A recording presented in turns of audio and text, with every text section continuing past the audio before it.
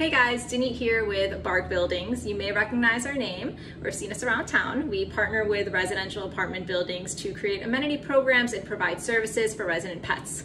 A lot of the dogs that we see on a daily basis come from Liberty Humane Society, so we're super excited to be working with them for Bark in the Park and making some delicious treats today. Uh, I know this is the most important fundraiser of the year for Liberty Humane, so we hope you guys can support. All the money raised goes towards the medical expenses of the thousands of dogs that they see coming in and out of the shelter every year.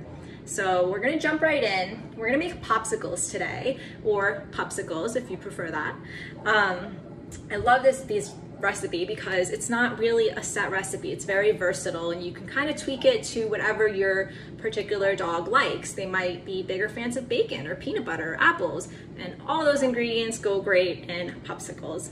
And so we're gonna be making two different types today. Both of them are very healthy, they're grain-free, um, and they're super, super simple. So while I will give you um, instructions and I'll let you know how much of each ingredient to use, you could totally uh, use a little more, or a little less of any ingredient, and it's really hard to go wrong with this one. So I think you guys will like it. So let's get into it. The first one we're gonna do is going to be peanut butter based, and uh, we're gonna throw in a few added ingredients. Let's start with yogurt.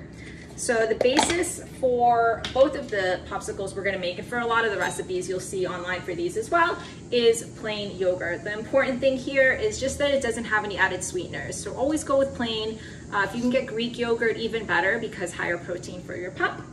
So we're gonna start with one and a half cups of plain yogurt. We can go ahead and put that straight into our mixing bowl. There's about one cup. Like I said, you don't have to be as particular as you are with making human treats, which is a nice bonus if it's not your strong suit. So there's one and a half cups of yogurt. Now we're gonna grab a medium banana. The more ripe, the better. It's gonna be easier for you to mash it up. So I'm going to use a fork to mash my banana. You can use any kind of household utensil that works. I tend to like forks. So I'm gonna do it on my cutting board here. Hopefully you guys can see it. There we go. All right, we're gonna mash it basically until it's pretty smooth, but it's okay for there to be some chunks. This doesn't have to be perfect. You're welcome to use a blender if you want it to be super smooth, but I think this is more fun, puts more work into it. It's a nice little arm workout. So that is pretty good for my mashed banana. As you can see, kind of looks like a puree. It was nice and ripe, so it was easy to mash.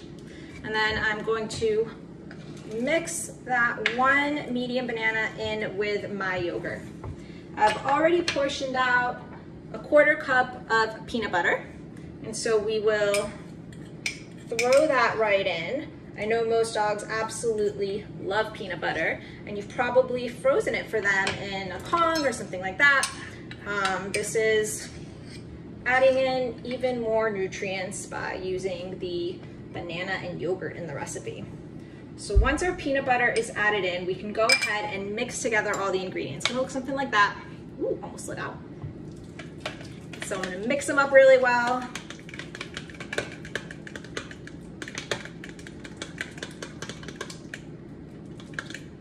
All right, there we go. Let me do this. There we go. And we're gonna put them in ice cube trays today. So got these trays, got a spoon, and you can go ahead and fill them all in. Then we're gonna freeze it for about three hours. And when it's frozen, you can pop them out whenever you're ready to give them to your dog.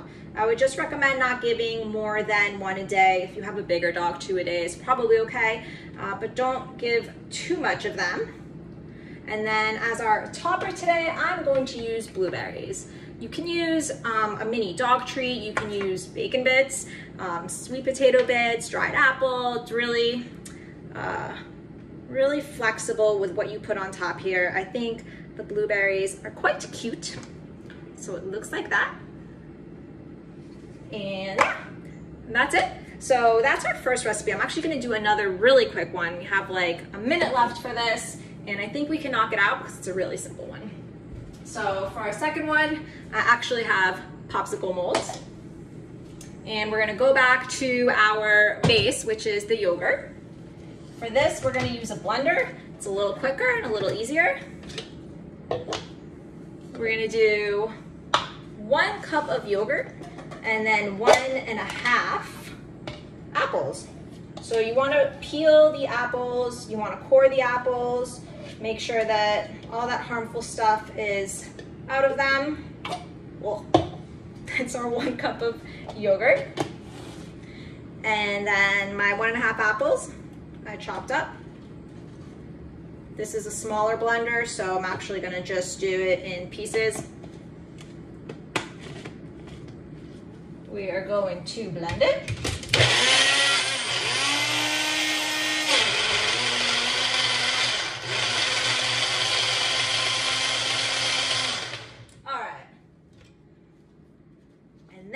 most important part to get you ready for fall and your dog ready for fall, we're gonna throw in a little bit of cinnamon in them.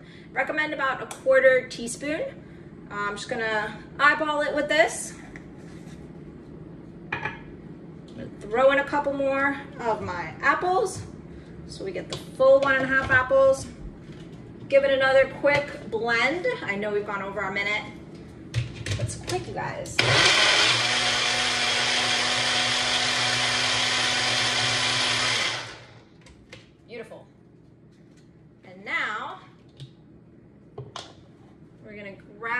Put them, our popsicle molds. And we can actually just pour that right in.